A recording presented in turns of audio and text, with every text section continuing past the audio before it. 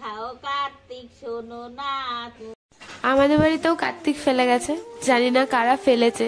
Hello guys কেমন আছো তোমরা সবাই? আশা করি সবাই খুব ভালো আছো।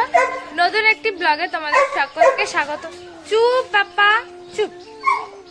চুপ। সব সময় চেঁচায়। জানি না কেন।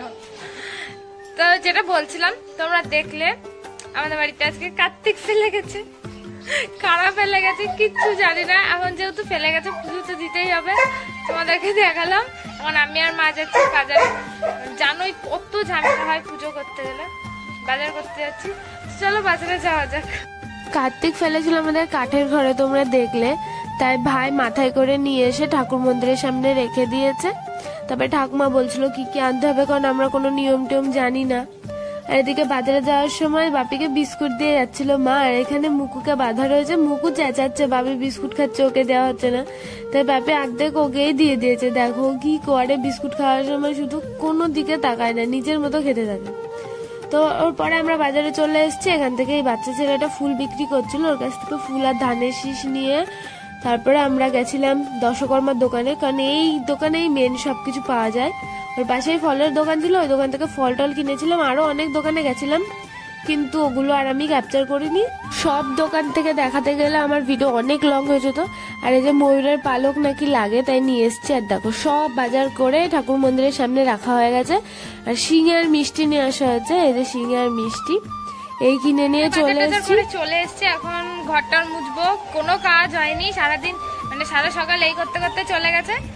এখন ঘরটার মুছে স্নান করব, আর ওদিকে মা সমস্ত কাজ টাজ করছে।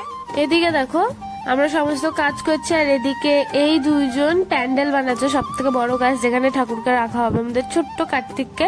তাই ওরা প্যান্ডেল বানাচ্ছে। আর এখানে ঠাকুমা এসে সব যোগাযন্ত্রী করছে, আর বোন ফল বানিয়ে নিয়েছে। আর ঠাকুর মশাই চলে এসছে, তাও আমাদের প্যান্ডেল হয়েছিল না। প্যান্ডেল ওখানে অমিত করছে, এই দেখো, ভেতরে শাড়ি টাড়ি দিয়ে। আর আমি স্নান করে এসে এখানে চুপি চুপি বসে সবার ভিডিও করছি। আমার তো কোনো কাজ নেই, অমিত বলেছে, কোনো কাজ করে না, খালি বসে বসে ভিডিও করে। আর তারপরে দেখো, প্যান্ডেল তৈরি হয়ে গেছে। মা এখানে এখন ঠাকুরকে বসাবে, তার জন্য সবকিছু রেডি করে ফেলেছে। ওখানে একটা পিড়ির ওপর বসানো হয়েছে।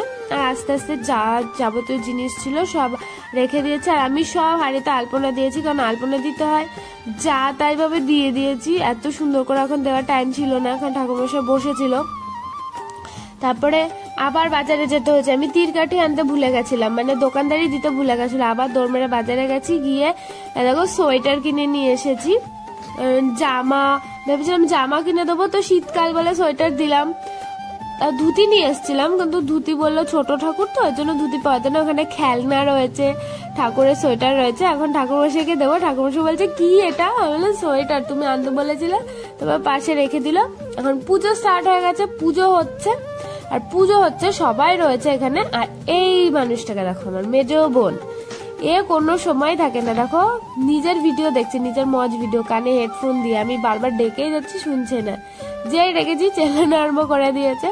মানে সারাদিন ভিডিও দেখতেই থাকে। আবার আমাকে বলছে যে রেডি তো হব আমাকে কটা ভিডিও বানিয়ে দিবি? আমি বলছি, পারব না একদমই না। ও ঠাকুরের ওখানে যায়নি পরে গেছিল পুজোর টাইমে তারপরে এর সাথে বকবক করতে করতে এদিকে আমাদের আরতির সবকিছু হয়ে গেছে। এখন এই নিতে গিয়ে আমার বোনের চুল পুড়ে গেছিল ছোটটার না, এখন আমরা সবার পুজো দেওয়া হয়ে গেছে, এখন উঠবো। ঠাকুরটাকে দেখো কত সুন্দর লাগছে, ছোট্ট। কে ফেলেছে জানি না, কিন্তু যাই হোক, ভালোই করেছে। পুজো তো হয়ে গেছে আমাদের বাড়িতে। আর এখানে বোনের হাতটা একটু খসখস করে বলে শীতে ঠাকুর মশাই কীরকম করে দিল যে হাতটা ঠিক হয়ে যাবে তাড়াতাড়ি করে। আর তারপরে সবাই একের পর এক প্রসাদ নিতে চলে আসছিল। বোন আর মা এখানে প্রসাদ দিয়ে আরম্ভ করে দিয়েছে। সন্ধ্যাবেলাতে দেখো লাইট লাগানো হয়েছিল না, কিন্তু প্রদীপ ধরে কি সুন্দর লাগছিল। মা বাপি বসেছিল, বোন সন্ধ্যা দিচ্ছিল। অবস্থা দেখো তোমরা, আমি সোয়েটার, মাফলার পরে একদম, পুরো একদম রেডি আমার প্রচণ্ড ঠান্ডা লেগেছে, কারণ আমি পরশু দিন চলে যাচ্ছি। তোমাদেরকে বলেছি আমি এক জায়গায় যাব। কোথায় যাব সেটা ওখানেই ডিসাইড হবে, সেটা তোমাদের পরে ব্লগে আমি বলে দেবো অবশ্যই। আর যাব বলে অনেক জামা কাপড় ধোয়া আমার বাকি ছিল, হালকা ধুলে শোকাতো না।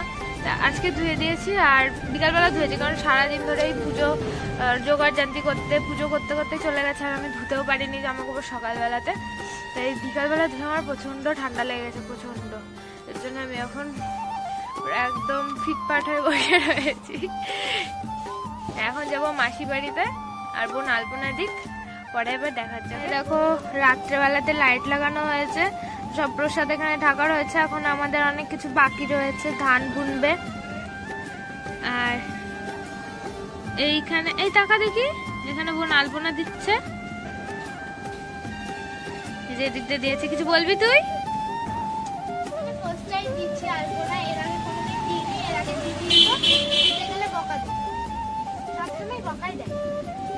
অপমান অপমান।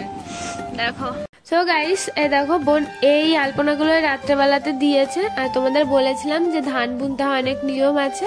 তা এখন বোনা হবে, রাত্রেবেলা আর বোনা হয়নি। এর জন্য মা সব কিছু তৈরি করছে। না, ঠাকুমাও সব গুছিয়ে দিচ্ছে। আর ওখানে পিসি আর একটা ঠাম্মি এসে বসে রয়েছে। তখন ফার্স্টে উলুধ্বনি দিয়ে তারপরে শুরু হবে। গানগুলো তোমরা শোনো। গানগুলো করা হয় যেরকম।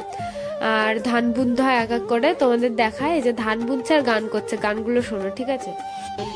দান বন বোঝা গেলি ও কার্তিক শোনো না দান কেন বনো না কি খাইয়ে নিরে বোঝা গান টান গাওয়ার পরে ধান বোনার পরে এখন মেপে মেপে ধানগুলো রাখবে, তারপরে ধানগুলো হাঁড়িতে তোলা হবে। এখন এখানে মাপারি প্রস্তুতি চলছে। আবার কত রকম নিয়ম, আমরা তো কিছুই জানতাম না। দেখো, এক এক করে মাপছে আর আবার নামাচ্ছে। তারপরে পরে একবারে হাঁড়িতে সব ধানগুলো তুলে ফেলবে। এটাই হচ্ছে নিয়ম, ধান বোনার।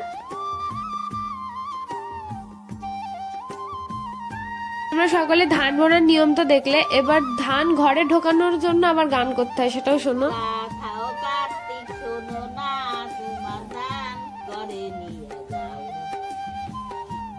সব নিয়ম তো হলো, গান টান গাওয়া হয়ে গেল। এখন যেই হাড়ির মধ্যে ধানটা রয়েছে, ধানটা বুনলো আর কি, সেই হাড়িটা মা মাথায় করে নিয়ে ঘরে রেখে আসবে।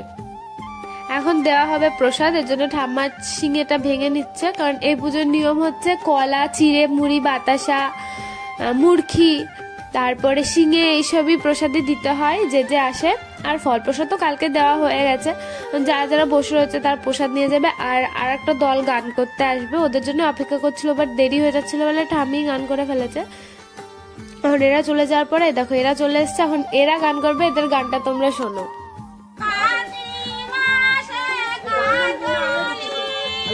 তোমরা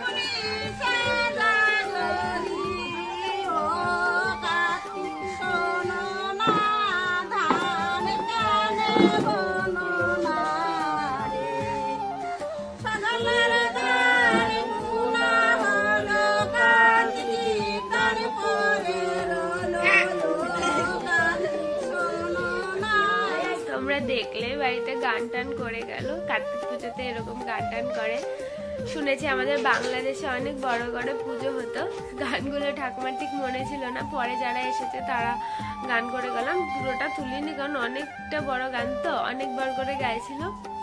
তো এই তো।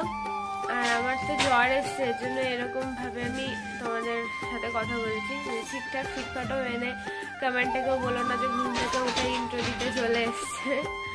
তোমাদের ভিডিওটা ভালো লাগলে অবশ্যই কিন্তু আমার চ্যানেলটা সাবস্ক্রাইব করে দেবে লাইক শেয়ার করে দেবে কমেন্ট করবে। এরকম মজাদার ব্লগ ভিডিও দেখার জন্য, ঠিক আছে? আমার চ্যানেলটা কিন্তু সাবস্ক্রাইব অবশ্যই করতে হবে। আর ফেসবুক থেকে দেখে থাকলে কিন্তু লাইক করে দেবে ফলো করে দেবে। আমাদের দুটো পেজ একটা থ্রি ফুটি সিস্টার একটা হচ্ছে রেশমিওয়ালা দুটোতেই কিন্তু তোমরা অবশ্যই ফলো করে দেবে। দুটো চ্যানেল অবশ্যই জানো, দুটোতেই সাবস্ক্রাইব করে দেবে। তো আজকের মতো বাই আবার আসব নেক্সট ব্লগ নিয়ে।